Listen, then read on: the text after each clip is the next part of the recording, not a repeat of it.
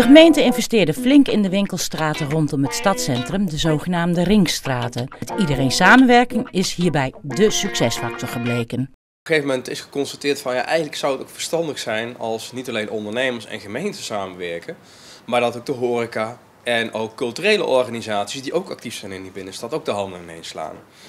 En uh, dat is uiteindelijk de organisatie Huis voor de Binnenstad geworden. De federatie, daar zijn de straatverenigingen bij aangesloten, niet de individuele leden. Individuele leden zijn lid van hun eigen ondernemersvereniging. Maar wat ik uit de buurt hier hoor, want ik zit in het bestuur van de Verweltigenstraat, dat uh, de ondernemers hier zeggen van uh, de straat heeft veel meer aanloop dat kunnen ze in hun omzet voelen, maar sommigen houden ook het bezoekersaantal bij. Het hele verblijfsklimaat in de Ringstraat, wat ook een opdracht was van de gemeente, eh, daar scoren we goed in. We hebben onlangs een kwartaalbijeenkomst eh, gehad waar eh, cijfers van de monitoring, waar de Ringstraat nu ook in meelopen. Hè, dus dan kun je ook gaan terugkijken van, eh, heb, dan heb je ook cijfermateriaal.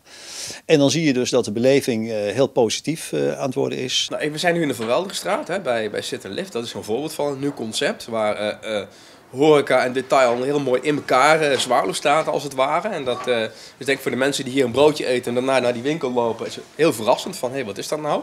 En uh, ja, de vraag is natuurlijk, waarom kiezen dan voor die ringstraat? Als ik met ondernemers spreek, dan hoor je van, ja, toch de, de sfeer, niet de, die massaliteit, misschien drukte van dat kernwinkelgebied, maar iets meer in de luwte eigenzinnige, karaktervolle straten en ook ja, andere type winkels waarbij die ondernemer zegt van daar voel ik me thuis bij. En nu eh, merk ik, ook onder de sturing van Jean Badoul, dat het samengevoel in de straat, in ieder geval in deze ringstraat, en andere ook trouwens, heel erg groot is geworden. Als ik zou willen, dan zou ik uh, maandelijks wel een verhaal kunnen houden in een andere stad. Waar dus ook uh, waar ze vragen aan ons van, god, hoe hebben jullie dat in Nijmegen gedaan? En, uh, want ja, het wordt naar buiten toe ook als een heel succesvol project gezien. En dat is het natuurlijk ook. Een aantal andere ringstraten die nog niet opgeknapt zijn, ja, die komen ook volgend jaar aan, aan rol. En dat betekent dat we vanaf volgend jaar ook ja, in alle straten ook een mooie nieuwe ja, vloer hebben liggen. Dat betekent dat we ook vanaf begin volgend jaar ook bijvoorbeeld de Bloemenstraat eindelijk ook gaan, uh, gaan oppakken voor een deel. Dus men ziet ook de noodzaak uh, van uh, die binnenkomst, die entree, zeker nu ook van Schuik Tonsingel eruit ligt.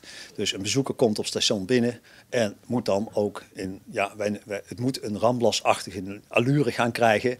Centraal station, naar het, uh, naar het wagenbouw. Voor een deel weten ondernemers gewoon prima die, zelf hun weg te vinden. Maar we zijn ook met een werkgroep vastgoed bezig om te kijken of we ja, die ringstraten nog meer naar die ondernemer kunnen brengen.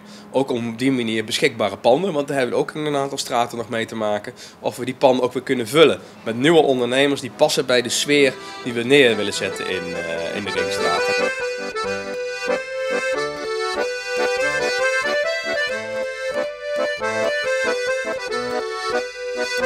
Thank